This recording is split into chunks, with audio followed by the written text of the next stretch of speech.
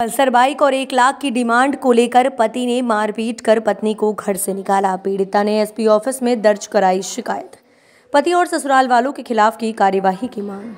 शिवपुरी ज़िले के देहात थाना क्षेत्र के अंतर्गत आने वाले सिद्धेश्वर मेला ग्राउंड शिवपुरी की निवासी, एक नव विवाहिता को पति और ससुराल पक्ष दहेज के लिए प्रताड़ित कर रहे हैं। पीड़िता ने इसकी शिकायत शनिवार को एसपी ऑफ़िस में दर्ज कराई। महिला ने पति और ससुराल वालों के खिलाफ दहेज के लिए प्रताड़ित करने और मारपीट कर घर से भागा देने का आरोप लगाया है। एसपी ऑफ़िस पहुँची महिला ने बताया कि उसकी शादी सात माह पहले बदरवास के रहने वाले दिनेश पुत्र रमेश रजक के साथ हुई थी। शादी के कुछ समय बाद ही पति दिनेश रजक, सास वसंती रजक, ताऊ राजू रजक द्वारा दहेज में पल्सर मोटरसाइकिल और एक लाख की मांग को लेकर उसे प्रताड़ित करने लगे। ससुराल वालों ने अक्टूबर में मेरी मारपीट कर मुझे घर से भगा दिया, जिसकी रिपोर्ट में मैंने थाने में दर्ज कराई।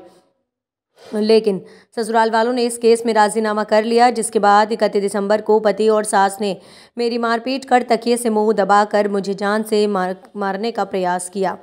मैं किसी तरह ससुराल वालों के चंगुल से छूटकर अपने मायके पहुँची। महिला ने शनिवार को पुलिस अधीक्षक कार्यालय में आवेदन देकर पति और ससुराल वालों के खिलाफ कार्यवाही किए जाने की मांग की है। क्या नाम है बहन जी तुम्हारा? अंजलि रजक।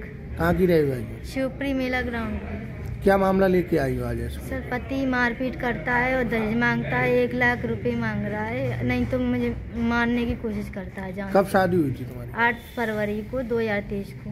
तेईस को। हाँ। कितना टाइम हो गया? छः सात महीने हुए हैं। पति का नाम क्या है? दिनेश रजक बदरवास से। है। बदरवास के हैं। ससुराल बदरवास है? हाँ। क्या करता है पति? पति सर वो पानी पाउज होते हैं ना फैक्ट्री में काम करता है। तो क्यों मारपीट कर रहा है तुम्हारे साथ? पता नहीं है सर बीड़ी पीता है दारू पीता है और मारपीट करता है। उनसे पैसे मांगते हैं ना पाँच रुपए दे दो तो गंदी गंदी गाली देता है। तो थाने में शिकायत की थी आपने की थी सर। फिर? वहाँ पे राजीनामा हुआ था उसके बाद में वो दोबारा ले गए थे और फिर मतलब तकिया से मुँह दबा लगा के मारने की कोशिश की थी। फिर?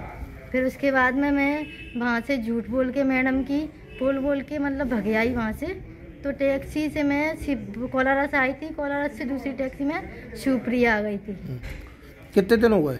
मैं एक एक तीस तारीख को मेरा राजीनामा हुआ था और एक तारीख को चार बजे मैं भागे आई थी वहाँ से।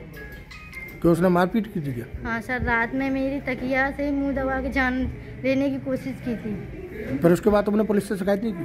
मैंने मैम को रात में फ़ोन किया था लेकिन मैडम ने मेरा फ़ोन अटेंड नहीं किया। कौन सी मैडम है? से कहा मैम को फ़ोन किया था और कॉल रिकॉर्ड में हैगा।